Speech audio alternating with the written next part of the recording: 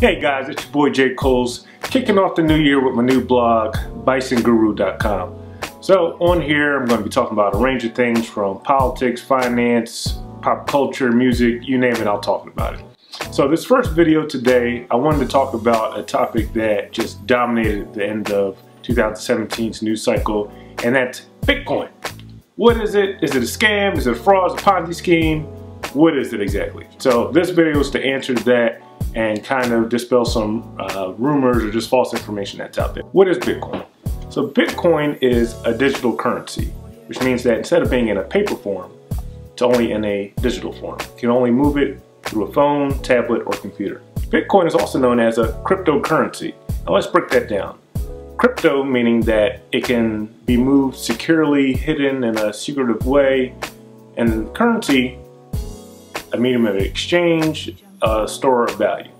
So the three things, in my opinion, that constitute what make a currency are, a currency has to be traded in a pair, it has to be traded on an exchange, and it has to be backed by a government. So now let's look at Bitcoin. Bitcoin is traded in pairs.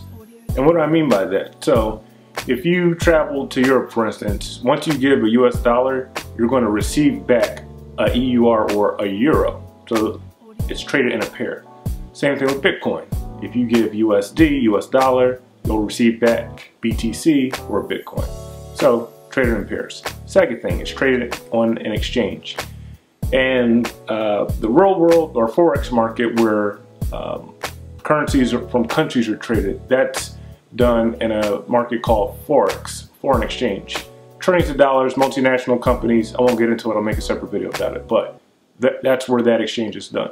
In digital currency, some of the popular exchanges are Binance, uh, yeah, Coinbase, GDAX, Cryptopia, uh, Bittrex, there's a number of them out there. So, it's traded on an exchange. Third thing, is it backed by a government? So, whereas USD is backed by the Federal Reserve, Bitcoin is not. However, Bitcoin is backed by, in my opinion, the technology that creates it, which is called blockchain. The value of Bitcoin, again, relies in the technology behind it. Technology that is literally going to change the world as we know it. Think of it as Internet 3.0.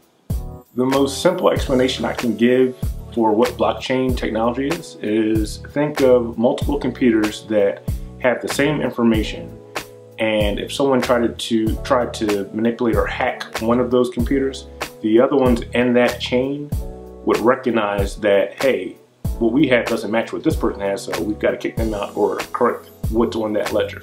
And so it it's almost like a foolproof, hack-proof system that people are really excited about because there are a number of applications that this could apply to. And just think about it. I mean, just in the last couple years, think about how many companies and governments have been hacked. So this potentially could um, solve that. Bitcoin is here to stay. Thank you so much and never stop learning.